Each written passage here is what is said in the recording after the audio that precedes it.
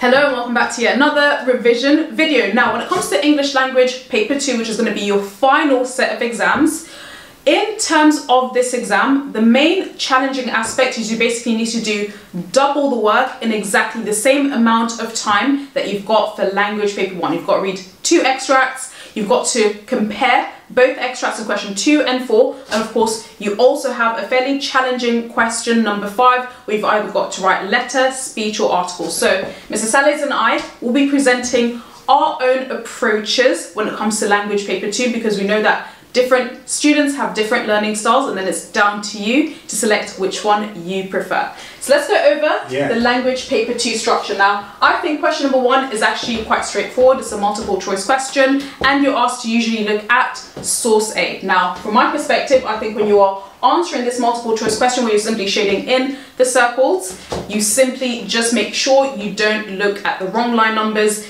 Keep your answer to just five minutes before you move on.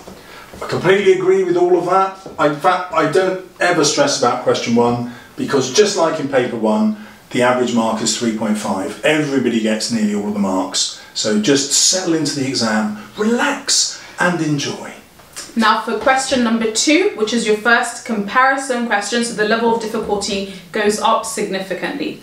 This question is worth eight marks, but you've got to work really hard for these eight marks because you've got to write a summary of either similarities or differences between the two texts that you were presented. Now for question number two, which is a summary, my suggestion is aim to write at least two peel paragraphs where within each paragraph you were comparing both source A and source B. Either are they similar or are they different? However, given this is a summary question, it's not where you need to talk about language or structure. Keep it simple, so you say text 1 and text 2, this is either similarity or difference, evidence to support that, then you explain it and link it back and you just do it two times. So my channel, as you probably know, is aimed at people getting the top grade, so my advice is slightly different. Um, you have to make your comparisons, but I try to train my students to write in P sentences rather than P paragraphs. So you'll give the writer's perspective and some evidence in the same sentence. That means you can make four comparisons instead of two.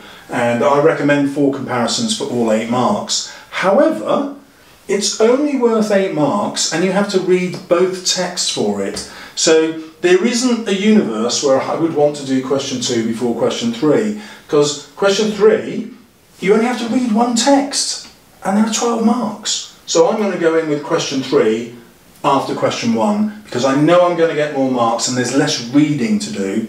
Uh, and then when I do question two, I'll already know one text really well. Okay, and that leads us to question number three.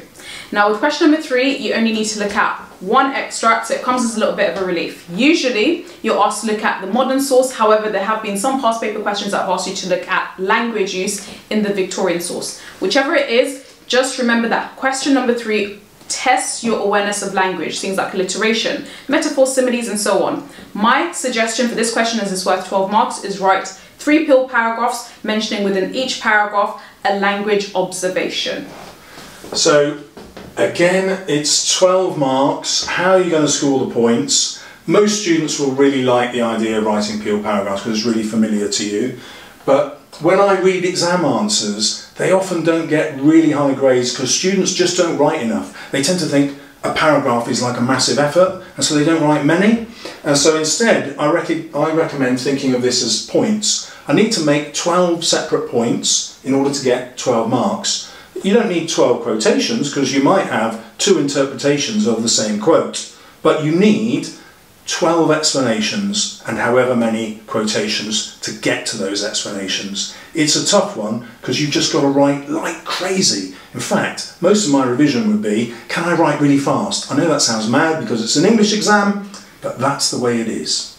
Now for question number four, this is, I would argue, the most challenging question. Yeah. Primarily because you've got to compare two sources, also talk about writers' perspectives, and equally make sure you are mixing in some language and structure points. Okay, so this is the question relating to writers' perspectives. Are they similar? Are they different? Now, for this question, my suggestion would be aim to write three comparison pure paragraphs where in your opening point you're talking about both sources. In your evidence, you're adding evidence from both sources. In your explanation, you're talking about either language or structure observations from both sources before you link back to the question, referring back to both sources. You do this times three.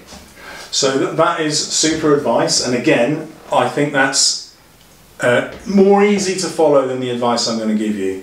So if you're after the very top grades, you've got to think, well, there are 16 marks here. How am I going to get all 16 marks?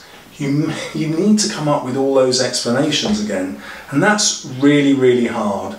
When I polled my YouTube viewers, I gave them um, an exam answer that had already been marked and I asked them to give it a mark between 9, 10, 11 and 12 marks. It was worth 10 marks.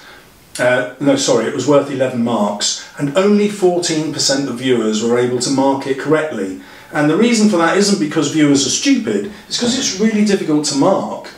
So if only 14% of viewers can work out what's going to get the marks, you really need a method. And I've racked my brains to find a method and I'm embarrassed. I am embarrassed by this method, but it's this on average, whatever grade you're writing, you get one mark for every 26 words you write. And I've tested that with loads of answers. And so if I've got 16 marks, I've got to write 26 words 16 times, trying to put my explanations into each 26 words. It's mad, but the more you write, the more points you get.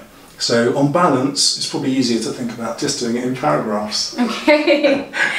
now for question number five, which is worth half of the overall paper's marks. You were asked to write a piece of non-fiction writing. It's either going to be a letter, an article or a speech. Of course, in addition to making sure you allocate half of the exam time to this, okay, so minimum 45 to 50 minutes on this, my approach is firstly make sure you are clear on the form of each. When it comes to letter, make sure you start with your address, date, dear, you write your main points, right? So make sure you write three main points in support of your perspective, two counter arguments before you finish off by concluding your discussion, and then ending with kind regards, your name and surname.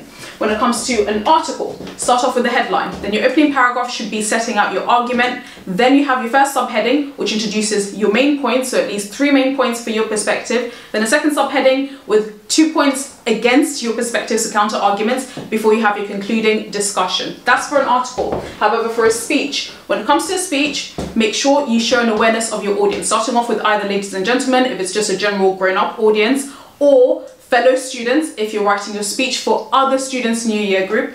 Then a speech is actually quite simple because you just have your first paragraph setting out your discussion, then your three main points in support of your perspective, two counterpoints why people disagree with you before you finish off by thanking your audience. Now, of course, within all three, so letter, article, speech, make sure you include anecdotes, made up examples, and statistics.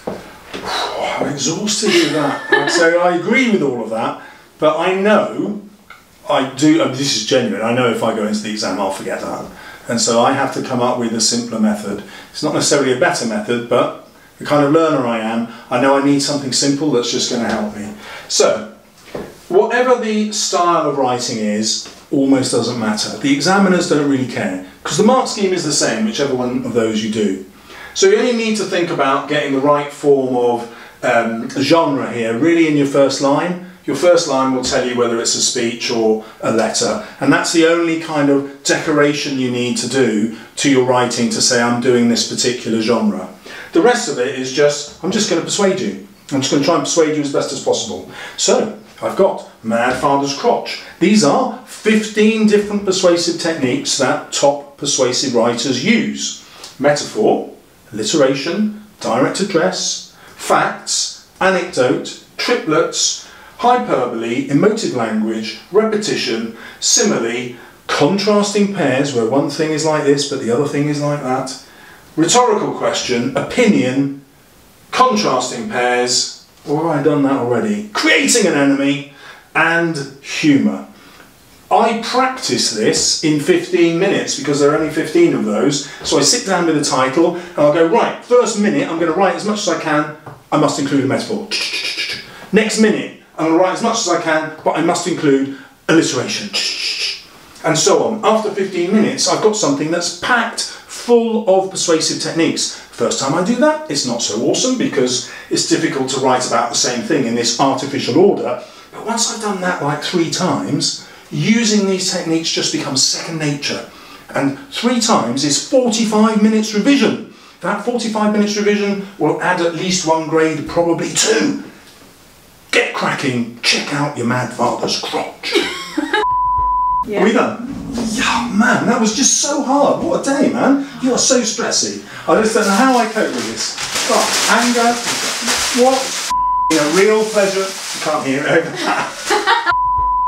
Thank you for watching guys and I hope you enjoyed this video. Now, if you are curious to see the video that Mr. Sally's and I made looking at English language paper one, make sure you head over to his channel where we're gonna be going over that together.